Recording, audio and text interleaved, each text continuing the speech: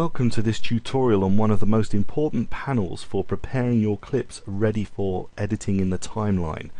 We're looking at the source panel which is incredibly important for preparing your clips, making sure they're the right length and then getting them to your timeline as quickly as possible.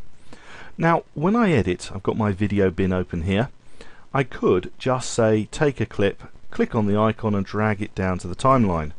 And then if you hit the backslash key it zooms in and then if I go to the end of the clip I get this little trim tool which is a red square bracket with a two-way arrow and I could just trim the length of the clip to whatever length I want it to be.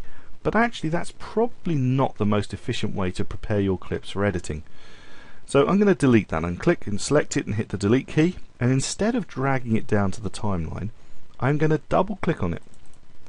And if I double click on the icon it opens it up as you can see in the source panel now the source panel is a way of selecting the bit of the clip that you want to use precisely and then dragging it and dropping it or getting it down to with other keys the timeline. Now I can preview the clip simply by hitting the play button. And I've got a 52 second long clip which is a bit long so I'm going to pull this timeline along. We can have a look at it. Not a lot's happening and then oh the kids start running back and that's quite fun. The rest of it's fairly boring and, and at the end of the clip you'll probably see that uh, the sun goes in, the clouds start to arrive, and then at the very end there's a there's a camera movement. So I'm definitely not going to want to use the end of this clip. And in fact, I probably don't want to use much more than this, this section with the children running as the waves come in. So, if I go to the point where I want the clip to begin, which is say about there, then I need to set an in point, telling that this is where I want the part of my clip to begin.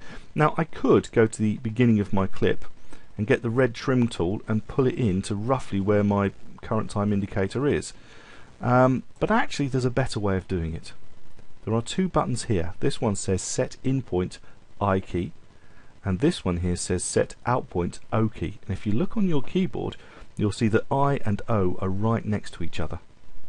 So what I can do is I can get my current time indicator to exactly the frame I want to use and I can click either I key or just set in point and instantly that drags the beginning of the clip to exactly where your current time indicator is. Now what if you're struggling to find the exact frame? What you can do is you can use some of these tools in the middle. I can go backwards one frame at a time until I can find precisely the frame I want or I can go forwards one frame at a time to precisely the place I want.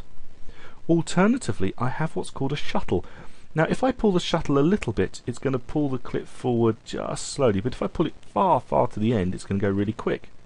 Again I can go backwards slowly and then really quickly but you might think that that's actually not precise enough for what you want to do. So underneath we have a jog wheel and I can just pull that jog wheel one frame or a couple of frames forwards and backwards till I find precisely the place I want to start just by moving backwards and forwards with the jog wheel. And then when I get, well, that's exactly where I want to start, then I can go back and I can hit the I key, or I can click this icon set in point and the beginning of my clip set. Now I then can move forward and I can either move forward, I can either play and stop, so it can go with the shuttle backwards and forwards, and then when I get close, I can then use the jog wheel to get the precise frame that I want to finish on and I can click the set out point key or hit the O button and it'll take the end of my clip and drag it so that is the bit that I have selected. However, different way of being able to preview and these are the J, K and L keys. You'll see them on your keyboard J, K and L. J is going to play backwards, K is going to stop L is going to play forwards. Now, if I hit the L key to play forwards, it goes at full speed. If I hit the L key again, it goes quicker. And again, it goes quicker. And again, it goes even faster. And I can hit the K key and stop. Or I can hit the J key to play backwards. And again, to go faster backwards. And again, to go faster backwards. And keep going. And then hit the K key to stop. But what if I want it to go backwards and forwards really slowly? Then I have to add what's called a modifier key and that modifier key is the shift key. If I hold down the shift key and push L it's going to move forward ever so slowly. As you can see, it's counting up in frames, just one, two, just a few frames at a time. You see the sea coming in. If I push it again, it'll go a little bit quicker, and again, quicker still, but still it's not getting to full speed. I hit K to stop. And again, if I hit the Shift key and hit J, I'm going backwards very, very slowly, very, very slowly, and going faster and faster backwards as I keep on hitting the J key with the Shift key down, and I can push stop with the K key. So that's how you can use keyboards. You can use I and O, which are right next to each other, and for going backwards, you can use the J key, stop K key, forwards L key, and if you want them to go extra slow, either backwards or forwards, you hold the shift key while you're tapping J and L. So lots of ways of controlling where your current time indicator is to find precisely the frames that you want to use.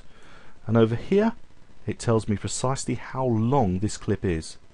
And then if I want to drag the clip down to my timeline, I can do so by clicking and dragging. No problems at all. I'm going to Control Z or Command Z to undo that. Alternatively, I could use the insert clip or the overlay clip for this first clip anyway. So if I click insert clip, it is going to insert where my current time indicator was. So if I click the insert clip again, it, my current time indicator being at the end of this clip, it will insert another copy of the clip. And this time I'm not seeing them in my source panel I'm seeing them in my program panel over here. I obviously don't want two copies of my clip so I can get rid of those. So select delete select delete. There is a shortcut for this and that is the comma key which as you will notice on your keyboard is just below the K and the L key so if I have got my current time indicator to precisely where I want it to be and I hit the comma key I get an insert edit. I'll explain about inserts and overlays in just a moment. Right, so I can click that and delete it. And I'm now going to open another clip. I'm going to open this one called Island Lighthouse. Double click on that, it opens it up in my source panel. And what I actually have here are two clips which have somehow got joined together. And there's a bit of a problem in the middle. I don't know if you can see, but just as I finish the lighthouse bit before I go to the castle, there's a bit of a movement on the camera. So I want to make sure I know where those are and I don't want to use them. So using my jog wheel just to show where the first movement is, there's the first movement, just go back a frame before the movement. I can now set a marker to tell me exactly where that is and that's what this little button here is. If I click on that I've set a marker. It tells me up here a marker is set but I can't really see it until I move my current time indicator and there's the marker in the source panel. Now if I then get my key and I go forward a frame at a time until I've gone through this movement and then I've got to a nice stable bit of the castle which is that's fine, get back a frame I can now set another marker to say that is the end of the difficult patch. Click the set marker. Or alternatively hit the asterisk key on your number pad. There you go. A second one is set. And I can go between these markers with these little icons here. So go to previous marker go to previous marker go back. And I'm going backwards and forwards between my markers which puts my current time indicator in precisely for this one the right place to put the out point so I hit O on my keyboard or I hit this little icon here I've set the out point so that I'm ready for my lighthouse but as you can see I can't use all of that clip and anyway it would be a bit too long so I just want a few seconds at the lighthouse. So I'm going to go to about there, hit I or click this icon and then I've got a nice bit of the lighthouse to use. And I can take it down to my timeline, make sure my current time indicator is in the right place by either hitting the, the insert icon or even the overlay icon at this point and hit the apostrophe key for the insert and there it is in my timeline. Now I want to add in the castle.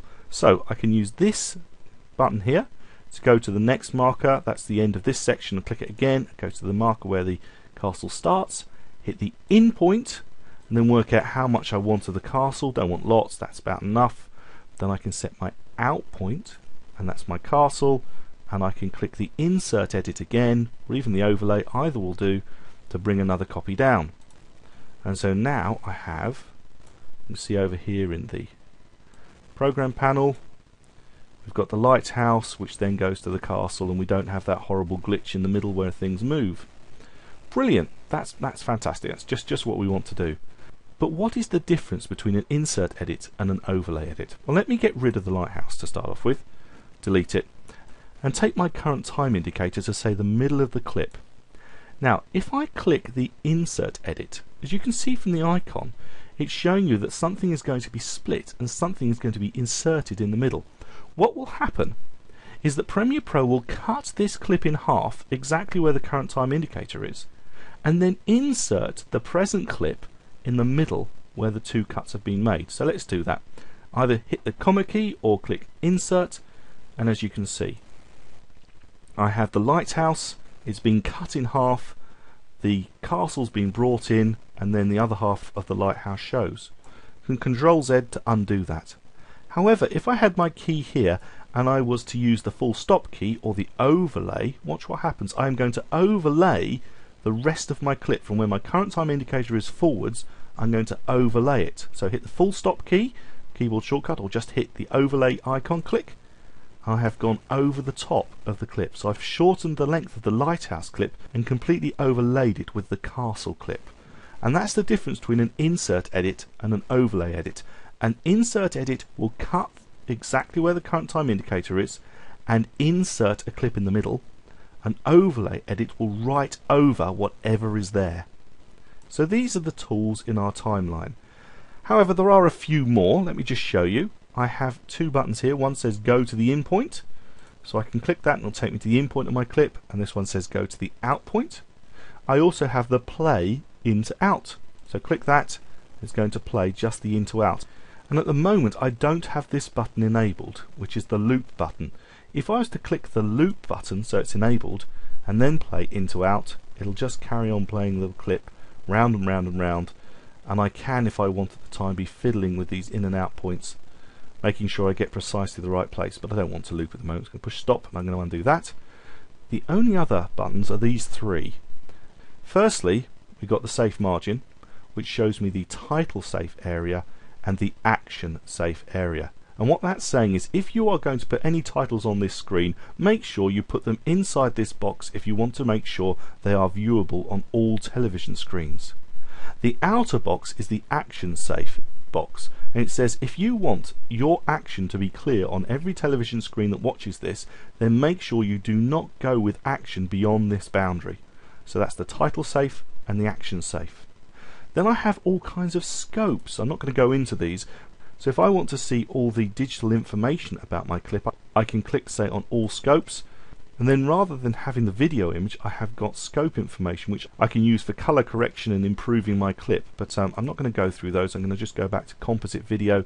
Composite video being just the video itself and I'm going to turn off the safe margins. The only other button I've got is this CS5 button which says export frame. If I click on this button it is going to export the current frame where my current time indicator is as a still image. So I can click on it, I can rename it, I can choose what type of file it will be, and I can choose where it's going to be. And then I would click OK and I would have a still image. And if I just show you, I've got CS4 open in the background here. And I have a clip of somebody digging uh, a hole in the ground. And as you will see, we do not have the output still. So CS4 doesn't have that option, but CS5 does, and it's a fantastic option for exporting single frames really quickly. Thank you Adobe for including it back in CS5.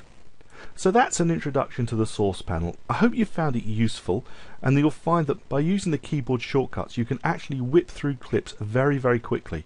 I'm Andrew Devis and I hope you found this tutorial useful. Thank you for watching.